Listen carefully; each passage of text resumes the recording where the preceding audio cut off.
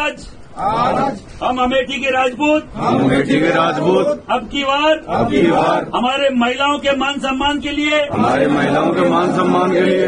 उस महिला के खिलाफ। उस महिला के खिलाफ। जिसने जिसने महिला होते हुए महिला होते हुए हमारे महिलाओं की हमारे महिलाओं की मांग को मांग को जायज़ मांग को जायज़ मांग को मान सम्मान को मान सम्मान को दिल्ली के दरबार में नहीं रखा। दिल्ली के दरबार में नहीं रखा। उस पार्टी के खिलाफ। उस पार्टी के खिलाफ। जिनके मुखिया ने जिनके मुखिया ने अब तक अब तक। राजपूत समाज की महिलाओं के राजपूत समाज की महिलाओं के। सम्मान के लिए। सम्मान के लिए। दो शब्द भी नहीं बोले। दो शब्द भी नहीं बोले। हम। हम। अब की बार। अब की बार। सांसद के चुनाव में। सांसद के चुनाव में। इस पार्टी को। इस पार्टी को। हर जगह से। हर जगह से। हराने का काम करेंगे। हराने का काम करेंगे। और जो भी व्यक्ति। जो जो भी व्यक्ति। जो समर्थ है। जो समर्थ है। इस पार्टी को हराने में। इस पार्टी को हराने में। उसके साथ खड़े मिलेंगे। उसके साथ खड़े मिलेंगे। चाहे वो किसी भी पार्टी का हो। चाहे वो किसी भी पार्टी का हो। हम किसी पार्टी के बंदे और गुलाम नहीं है। हम किसी पार्टी के का मान नहीं है। माँ भगवती की कसम खाकर। माँ भगवती की कसम खाकर। अब की बार। अब की बार। इनको हराने का काम। इनको हराने का काम। और हर एक घर पे जाकर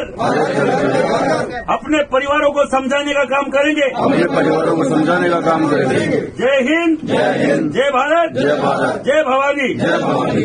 बोल- बोल करणी माता की